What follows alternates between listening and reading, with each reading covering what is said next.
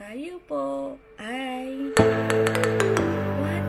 subscriber na!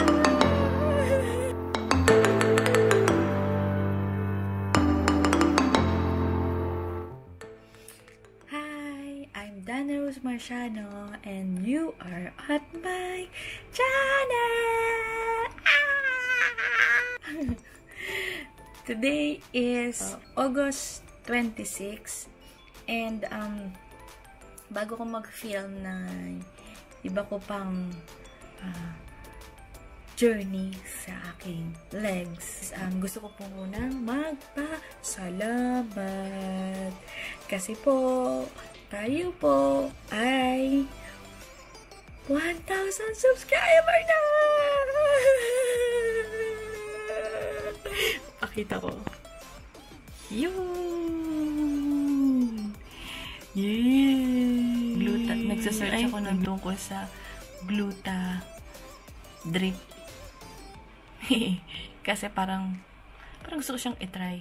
Tapos, yun nga, para sa mga nagtry na, please, um, comment below nga kung effective ba yan o safe ba yan.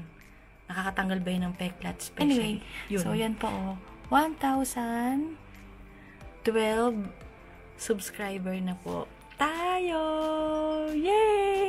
Salamat! Salamat! Maraming salamat po dun sa mga kasamahan ko sa work. Yan. Mga aking nabraso. At saka dun sa mga hindi ko pa hindi ko pa siya, hindi ko sila kilala pero dahil siguro dun sa isang video ko nga po dun tungkol sa aking legs journey yan talaga yung nakapagpa-boost ng subscriber ko po. Siguro kasi marami nagulat din talaga ako na marami pa lang mga Ah. katulad ko yung dinadanas din o na nasa ganitong sitwasyon.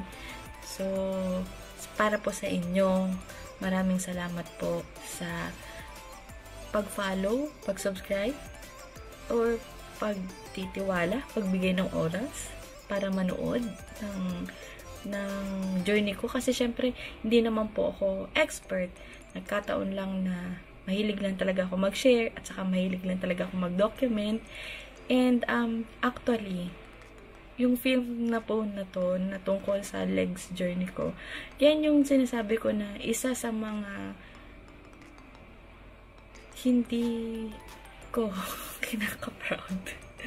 Kasi syempre yan yung mga tinatago ko eh. ba? Pero dahil mahilig lang din talaga ako mag-share at saka kasi ako yung tipong tao po kasi na ano na gusto ko makita nyo na totoong tao at saka looking forward sa kung ano yung magiging resulta. Nandyan yung challenges. Tingnan mo, kailan pa po ako unang nag-post noon. Last year pa. Pero wala, hanggang ngayon, nasa journey pa rin ako. Kasi dumating ako sa point na parang wala naman yata nangyayari. Pagod na ako. Ayaw ko na. Yung, diba?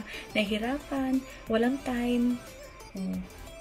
Eh, yun. Hindi, wish ko lang talaga, parang katulad lang din ako. Di ba? Nagkay! Diyos ko, huling-huli. Huling-huli sa pagkakamot. Peace. Peace. Wish ko lang din talaga na katulad din ako ng iba. Tsaka yung katulad lang din ako ng iba dun sa mga skin type nila na hindi sensitive. Masyado.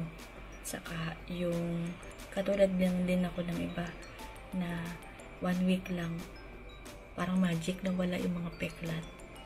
Wish ko lang. Wish ko lang ganun lang din ako. Kasi gusto ko rin talaga din na masuot yung mga damit na gusto ko. Gusto ko din na makapag ah, pictorial na gamit ako. Oh, alam na. Two piece. So yun, sinabi ko na nga si Honey. Dahil magaling ka naman mag photographer, magaling nga namang photographer, eh ako masama siya mo. Tapos, magtutupis ako. Ay, supportive siya.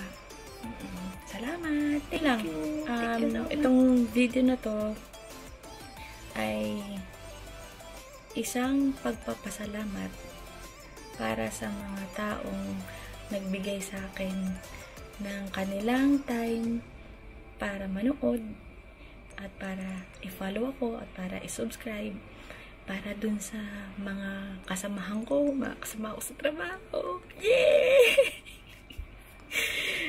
Ayun.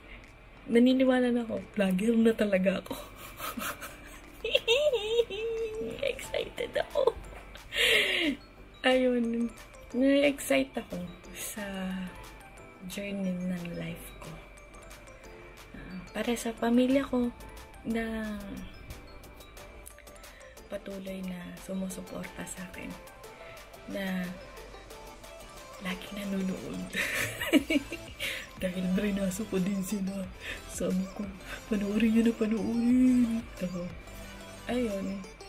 So, para sa mga naniniwala. At, um, para dun sa mga iba din na napadaan lang. Maraming salamat po. Bye-bye!